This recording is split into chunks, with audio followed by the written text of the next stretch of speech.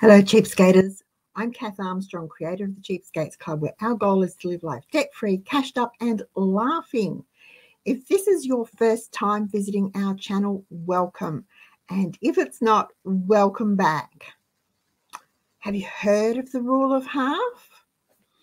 It's something we cheapskaters have been talking about and following since the beginning of the Cheapskates Club.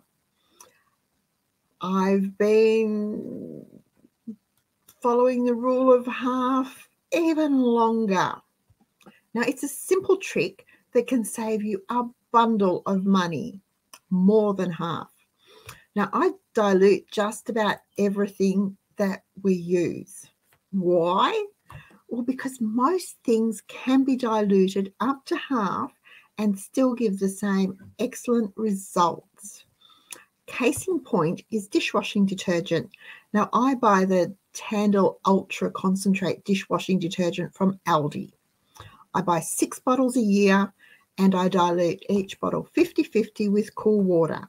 That gives me 12 bottles for the price of six, and that is more than enough to last me for dishwashing for a year. But I take it a step further because I also add 500 grams of bicarb soda to the dishwashing powder that I buy to stretch it. So that 1.5 kilos of powder then gives me 90 washes. That's two level teaspoons per load. And yes, I do measure it. There is a spoon in the dishwasher powder container. That means that I only need to buy four bottles of dishwasher powder a year that's a saving overall of $27.95. Now, that's because I don't buy a branded named dishwasher powder. I buy Coles brand dishwasher powder. And I buy bicarb in bulk. Saves a bundle of money, gives excellent results.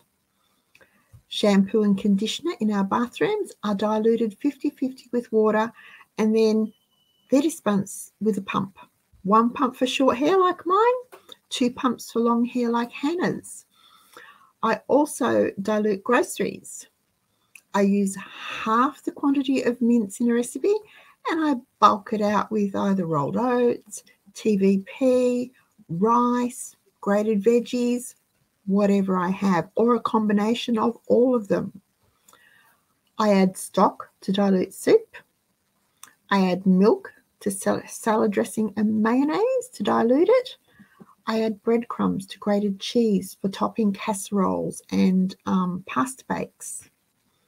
There are so many ways you can stretch your groceries when you get creative with the rule of half. Baking is diluted too. Biscuits, no more than two teaspoons of dough, rolled and flattened. They don't need to be huge. I use the smaller cutter to make scones.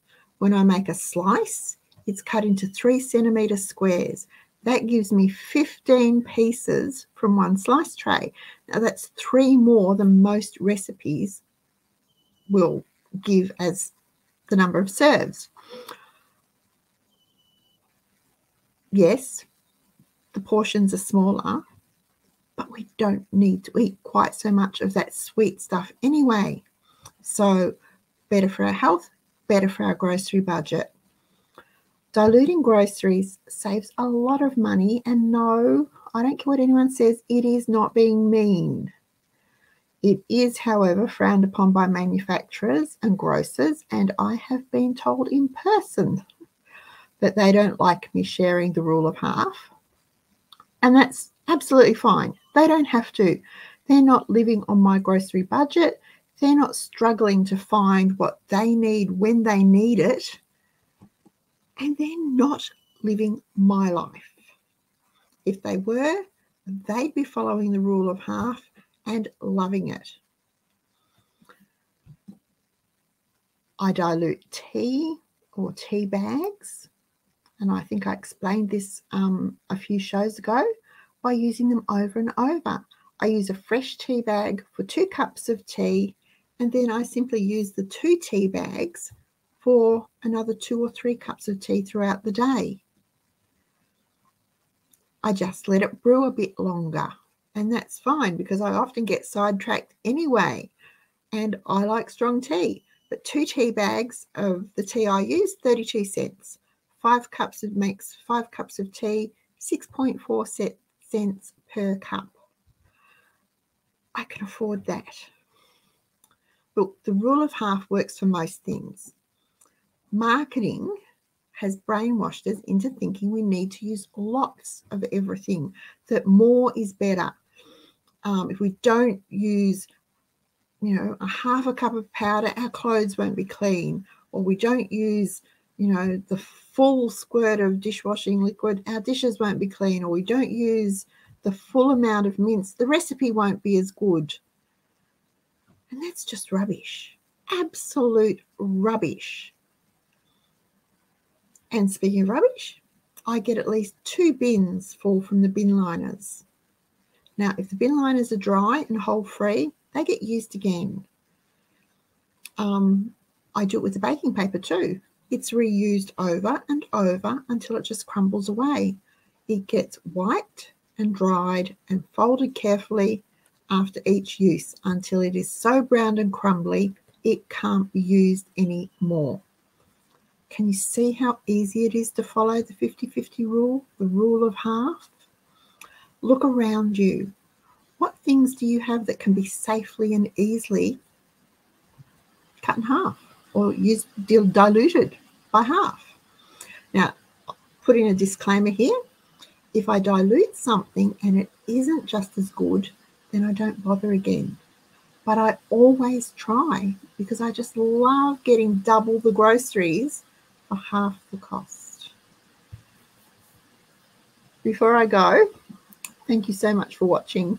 If you're not already a subscriber to our channel, click that subscribe button below me and then click that bell and select how often you'd like to be notified of new videos on our channel. It helps YouTube, but more importantly, it helps our channel to be recognized more easily. And the more easy it is to find us, the easier it is to spread the message that it is not only okay to live life debt free, cashed up and laughing, but it can still be done even in today's crazy world. Happy cheapskating, everyone.